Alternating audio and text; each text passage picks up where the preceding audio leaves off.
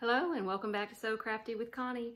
Today I wanted to show y'all how to make these adorable adjustable little dog collars and they have the buckles on the ends and then they've got a little D-ring for a leash and I wanted to show you how to make the matching leash as well. Very easy. Uh, if you like this video, please give me a thumbs up and don't forget to subscribe to my channel for more sewing and quilting tutorials as well as recipes. So if y'all are ready to go get started, let's go.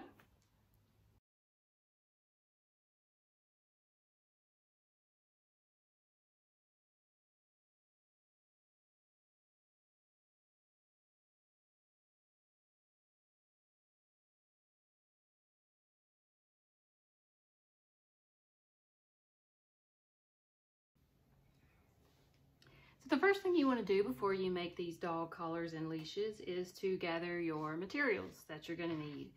So I'm using this 100% cotton fabric and I have already cut out my measurements that I needed and I am sewing a small leash and I have cut it out two and a half inches wide by 19 inches long and then you need to get a piece of either featherweight or lightweight interfacing that is going to be going onto the collar. It just makes it more sturdy. And then you need to get a buckle. It's these little buckles right here. You can get these at Hobby Lobby. You can get them at Joann's. Uh, I buy mine at Amazon because I sell these and you can get a whole bunch of them for a lot cheaper. You need to get the little sliders here and you need to get the size that's going to be the finished size for your collar. And the finished size for my collar is going to be a five uh, to eight inch width. So I wanted to get a uh, slider that is going to match big enough to go in there. And then a D-ring. This is a D-ring. And this is about an inch. Yeah. And all of this stuff can be bought on Amazon in, in bulk, but you can also get them at Joann's, Hobby Lobby, Walmart, any kind of craft store.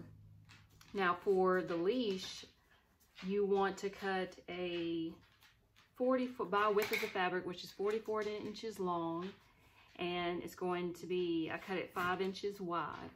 And then I got a swivel hook to put on the end so it can be hooked into the collar. Uh, and these swivel hooks you can also get at Hobby Lobby or Amazon. Now, if you want a longer leash, you could cut it, you know, for however long you want, but I have found the width of the fabric is long enough. Um, if you have a smaller dog though, you may, and if you're pretty tall, you may want to cut it longer, but that's your preference. And I will have all of these descriptions and measurements down in the descriptions of my, uh, of my video. Okay, so first thing we're gonna do is we're gonna take this to the ironing board and we're gonna iron the interface onto the back, the wrong side of the collar piece. So let's go ahead and do that now. Okay, now we're gonna take our collar and our interfacing and we're going to iron our interfacing onto the wrong side of the collar fabric. And this just makes it a little bit stronger. Cut your interfacing the same size as your collar. If it's a little longer, that's okay. You can just cut that off later. And I have found the lighter weight, the feather weight is better as far as the interfacing because if you get a heavier weight it's going to be too thick and you're not going to be able to pull your collar through your slider. Okay, now the leash doesn't need to have interfacing because you kind of want it to be a little flimsy. You don't want to be walking your dog and your your leash is so so uh, stiff that they have no leeway. But um, anyway, so that's okay. You don't need to have any interfacing for your leash. Now, you don't really need to use interfacing probably for your collar. I have just found that sometimes if I didn't use it, the collar would be too flimsy also, and it would not keep its shape and the size, like when you would put it through the D-ring, and I'll, I'll explain that to you too later on. So now we want to go ahead and prepare our collar to sew. So what you're going to do is you're going to fold it in half lengthwise, lengthwise and you're going to have the right sides up. You're going to iron that down. So now you're going to be able to see your center crease. So now let's fold in each side so we don't have any raw edges and iron those down. Now we're going to fold in each end and bring it over to the center crease where it meets the center crease that you just made when you ironed it at the very beginning lengthwise in half. And then you're going to do the same thing on the other side. Just bring it over to where it meets the center crease, the first one that you made when you first ironed it over. Now you want to fold the whole thing over and match up the edges and iron that down. And that will keep you from having raw edges. Now I would go ahead and pin it down so it will keep its shape while you while you're moving it around. Okay. Now we're going to take it to the sewing machine and we are going to sew it closed and then finish the collar. Let's go ahead and do that now. I've got all the pieces here that I need to make the collar and then here's the collar right here and all I'm going to do is I'm going to sew start from the folded edge at the end back stitch go around and then I'm going to sew all the way down and then come up on the side here and back stitch up at the top. And this is going to close it up. Now I would make sure that I had a really good sharp needle ready to go and if it gets to be a little bit tough to sew just kind of go slow. And if you decide you don't want interfacing in the collar, that will also help with the with the bulkiness. But I think with the interfacing, it does help it keep its shape. So I'm going to sew, back stitch, go to the corner, and then I'm going to turn, and I'm going to sew all the way down the side with a fourth inch seam allowance.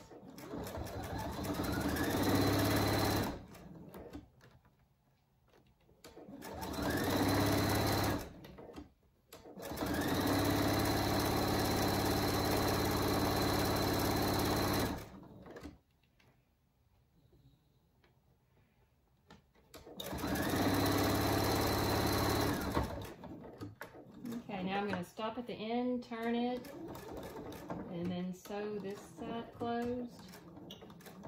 And then I'm going to back stitch just to secure it. Now I'm going to go ahead and cut off my loose threads.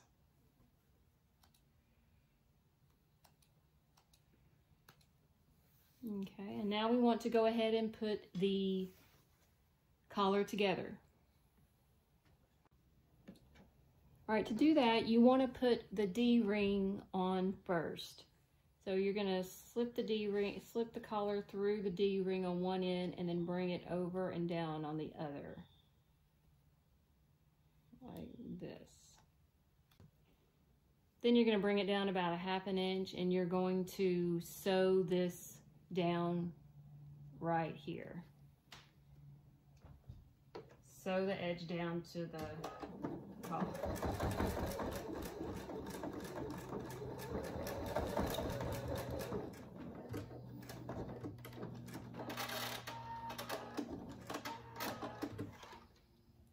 Okay, again, cut your loose threads.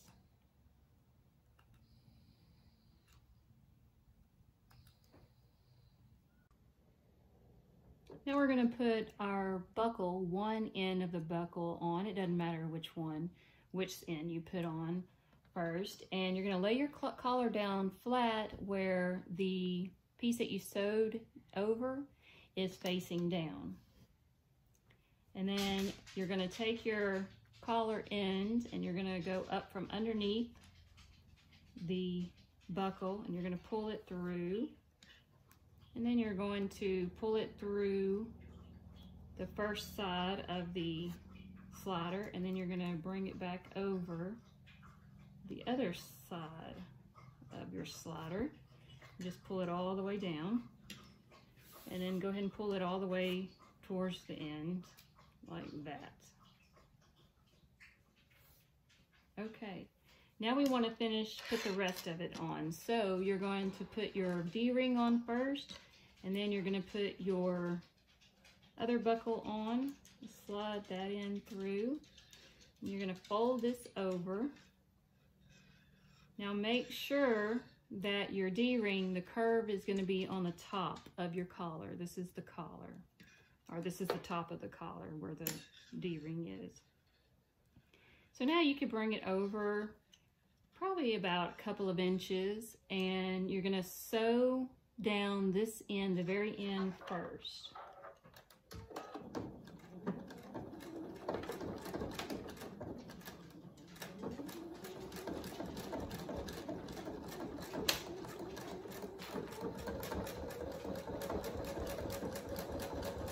Would sew over the entire from one end to the other, back stitching a few times. Then you're going to take your D-ring and push it down to where you just sewed it. And then you're going to sew that side closed. You can sew right in between it.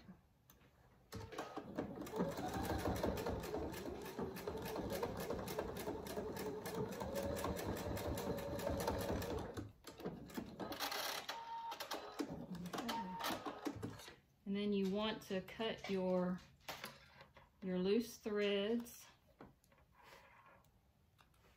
Make it a little, little neater.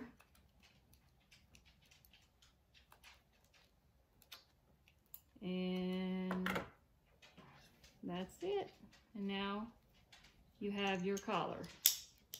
And it's adjustable, and to adjust it, you just pull this end like that. So that'll make it smaller, and then you can make it bigger.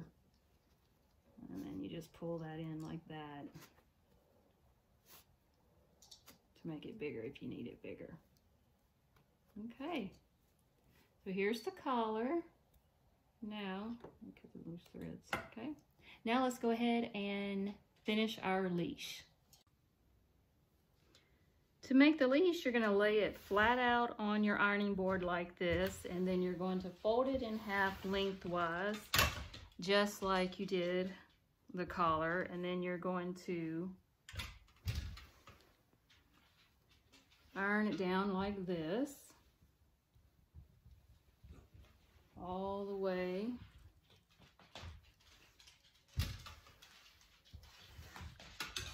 okay and then you're going to go ahead and fold in your ends iron it down really good And you're going to do the same thing with the other side. Fold it in, iron it down. Probably about a half an inch. It doesn't, doesn't need to be too big. Now you're going to take it and you're going to fold the edge in, the long edge in where it meets the middle crease. And you're going to iron that. And then you're going to do that all the way down.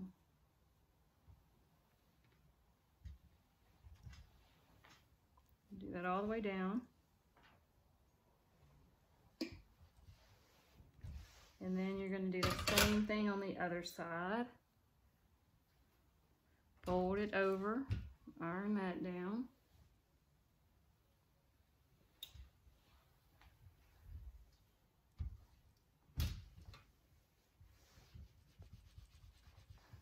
Okay. Now, after you get that done, you're going to fold over and meet up with the edges, the folded edges, and you're gonna fold that down. You're gonna iron that down.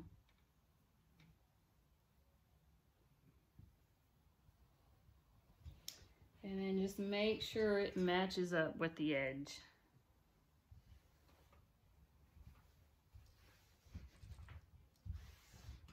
Okay, now we're going to take it to the sewing machine and sew it up. Okay, I've got my leash here. I'm about to sew it up and I got the little swivel hook to put on it. So we're going to do like we did the coll collars and just do one side, stop, we're going to start back, start stitch and then back stitch and then go all the way down.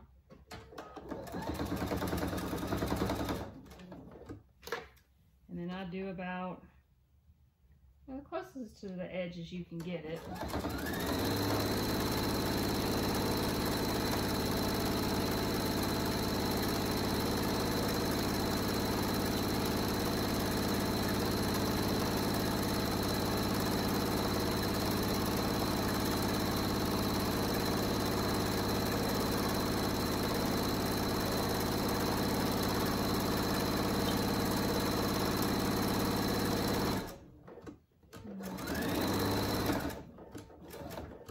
start going up. Then I back stitch there.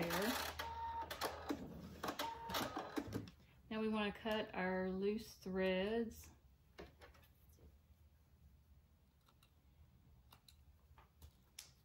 Okay, and now we're just going to attach the swivel hook. So all you have to do is just put one end into it, fold it over about an inch, and then just sew it closed. I top side back stitch quite a few times and make sure it goes all the way from one end to the other.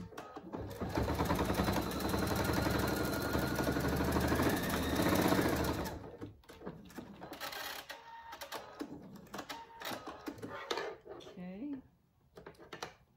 And now I'm just cutting my loose threads again. Now we want to make the handle. And I'm going to fold mine over about 13 inches so I have a ruler here. So I'm just going to count. Let's see, that's six. That's 13. I'm just going to fold mine over about 13 inches. So it's like this. And then I'm going to come up about uh, about an inch and a half. And then I'm going to sew like a square and then an X in the middle like this.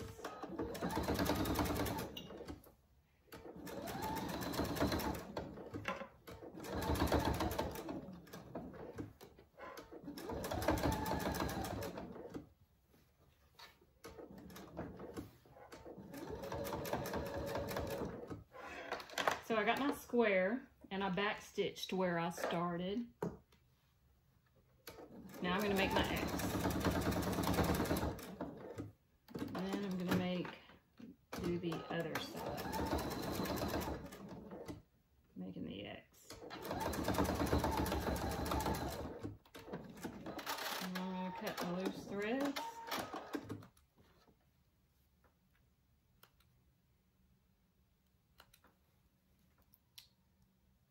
Okay. And then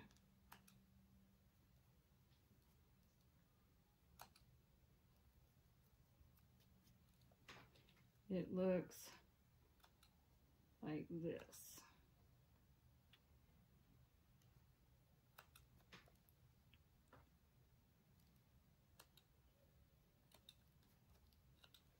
Okay, here's a close-up of it. See, you can see where the little X stitch is that I did. All right, and that's it. So you've got your leash, you've got your collar. Now, let's go test them out. So this is Hazel.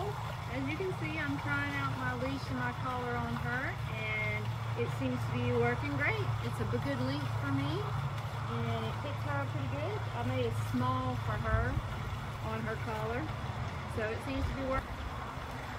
Thanks so much for watching. I hope you enjoyed my video. If you have any questions, just please let me know. And I'd love to see your leashes and collars. And don't forget to subscribe to my channel. And now we're fixing to go for a walk. See y'all next time.